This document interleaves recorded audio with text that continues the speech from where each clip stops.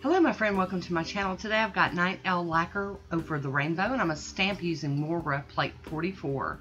I'm using American Classic starting over as my base coat and here is Night Owl Lacquer over the rainbow. Beautiful silvery blue kind of awesomeness. I'm going to go in with my first coat of this. Um, Santa did bring me a ring light, so we're going to be playing with it and working on getting the lighting and the dialed in just right. I am going to cap my free edge there, just to make sure this manicure lasts for a little bit. Hi Woody, how you doing? He's busy, busy. And here we go with our second coat of Over the Rainbow. I just figured this would be a really good base for the stamping that I'm going to do. I'm going to top, top it all off with some Fast and Hard from Vibrant Vinyls.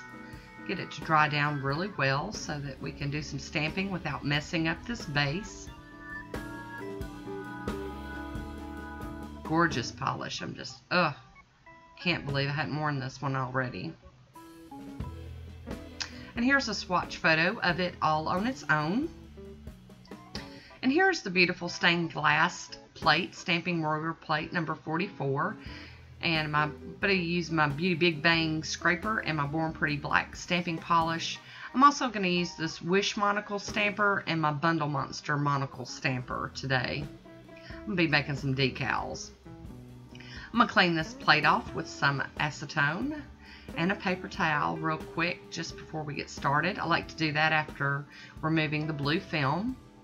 And I'm going to pop in here with that black stamping polish and just cover part of the image with the polish and get ready to scrape. I was really excited to use this plate. Really, really excited. So here we go. I'm picking up these images. And if my camera would focus, you would be able to see that.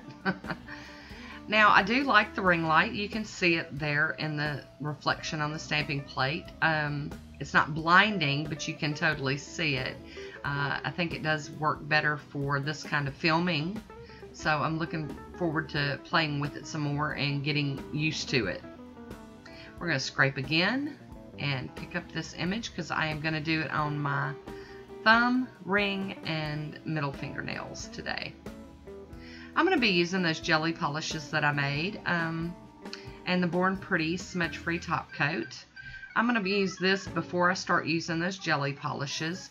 Uh, just because on my very first one I didn't do this step and those little fine lines uh, were trying to pop up. It was distorting them quite a bit so I decided to use the smudge free on it. Now we're going to go fill it in. I'm using this tiny water marble dotting tool thing that I have. I figured I'd give it a try since this is a little more intricate um, of a design. The, the lines on it aren't very fat, so I was wanting something that, you know, maybe I could control a little better. I couldn't find my for real water marble tool, so we just had to grab what we could find. And I'm filling this leaf image part of it in with this beautiful green. I love being able to flip it over and see how well it's doing. And now I'm going to use this orange jelly that I made.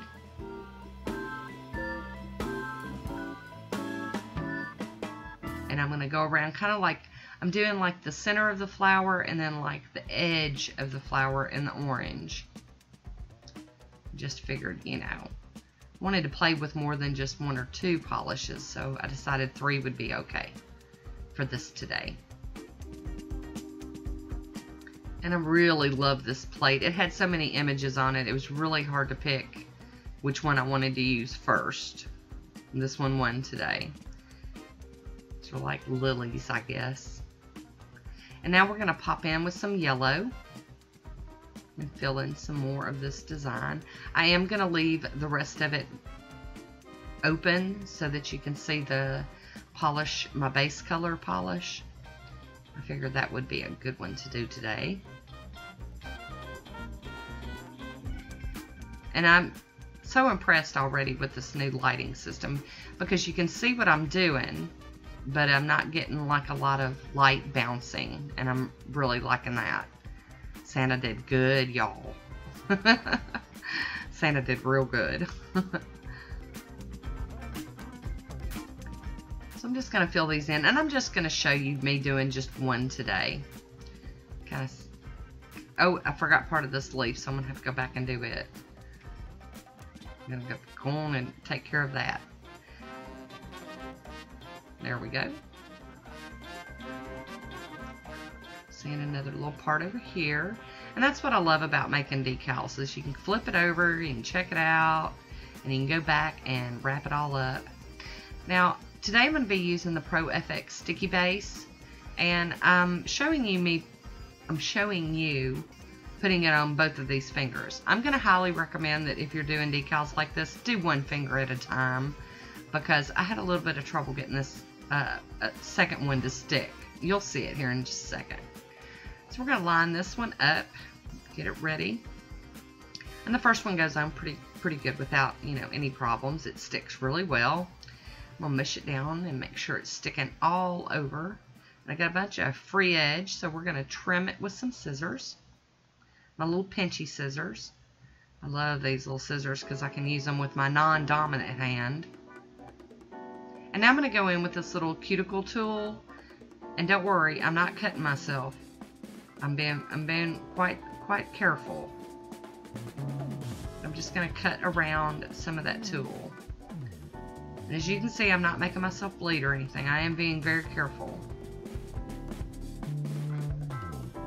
You could do this with an orange wood stick or, you know, um, you could just go in straight up with your acetone and your cleanup brush, which I will be doing here in just a second. Gotta get some of this mess out of my way.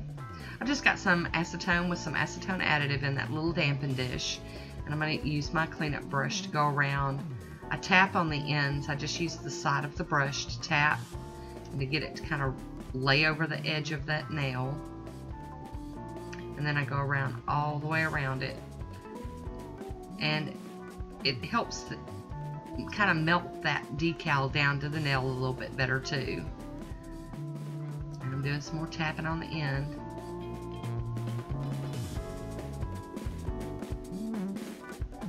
Trying to get up nice and neat around that cuticle area.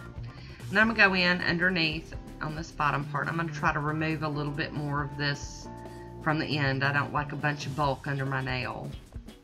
I'm going to get some of that cleaned up.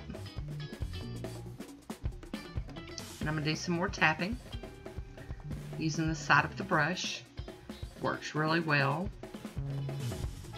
So there we go. There's our first one. I did go ahead and apply the second one off camera.